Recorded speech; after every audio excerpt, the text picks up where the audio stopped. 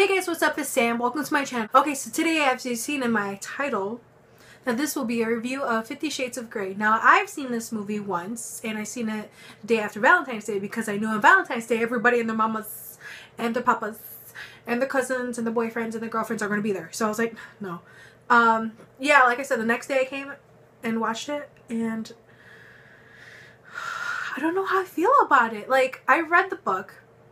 I read the first and second book and obviously everyone knows that the book is obviously better than the movie. Yes, we all know that, Sam. Okay, whatever. But they were missing the big points of the book. Like, well, I wouldn't say big points, but for me, like the bigger points of the book on why Christian is the way he is. Now, I know in the book, Christian loved his classical music and he always recommend Anna different songs. And when they were in the Red Room, he would like when he was tying her limbs up i remember that he was playing this certain song i don't know what it is obviously but i read this so much so long ago.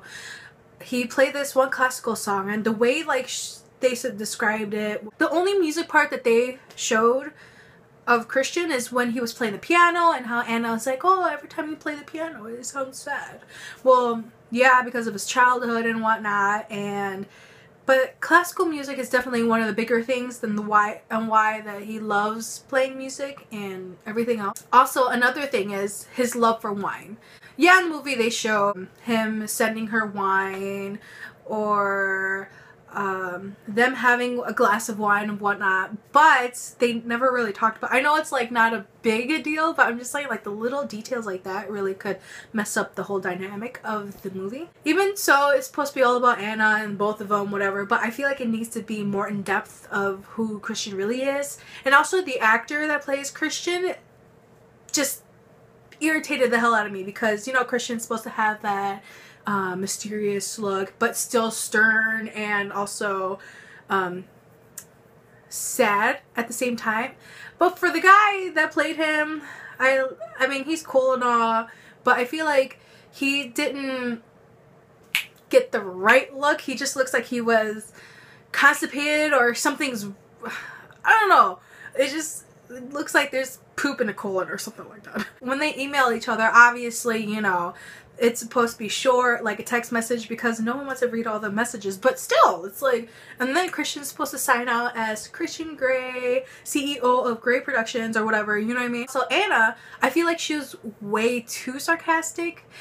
Let first, hold on, hold on. Let me, let me, let me, let me go back on that. Now, the the person who played Anna, I say she was perfect. Um, the awkwardness, the way that she she is. She's supposed to be a plain Jane, which she was, but she's really pretty.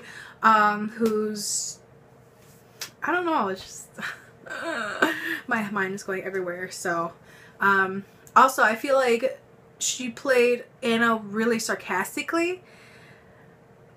I, I don't know. It's just the tone of her voice is just I, I don't know. I feel like she's way too sarcastic. I know she's supposed to be sarcastic in the book, but as I pictured it, she she's not as sarcastic. She just wants to do it to piss him off. I guess that's where the sarcastic comes from, but I feel like there's more like kidding more than serious I want to piss you off kind of thing. I don't know, it's hard to explain. Okay, but I'm usually the girl who has to read the book before I see the movie. The whole cliche of Anna's like, oh, I'm a virgin.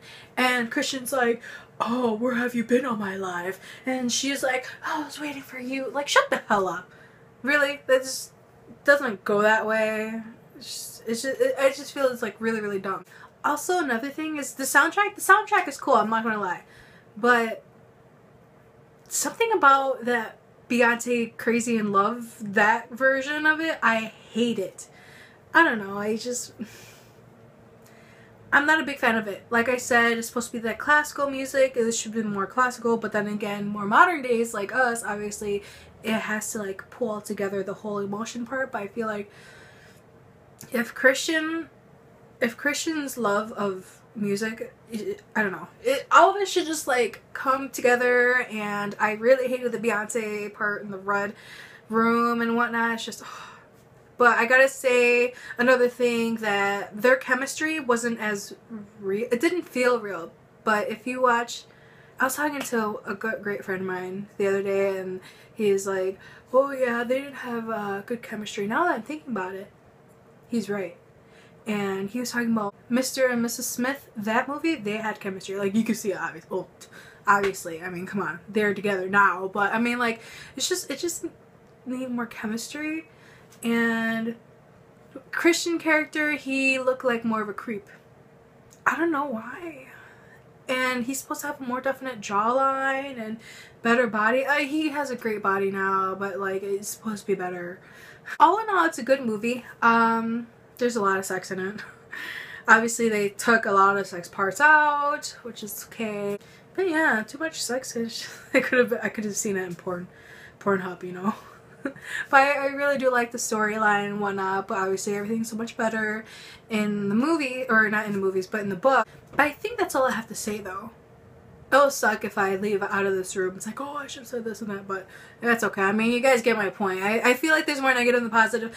Uh, but one part of me wants to like it, and another part of me doesn't want to like it. But in all in all, I like the whole damn movie. I want to watch it again and again and again and again and again. But I'm not way too obsessed with it because I'm not. But I'm not way too obsessed that just oh my god. You like you know what i mean? You know how people are like really obsessed and other people are like oh whatever. But i'm just like in the middle. It's a good movie all. All right guys. Hope you enjoy this video and i'll see you soon okay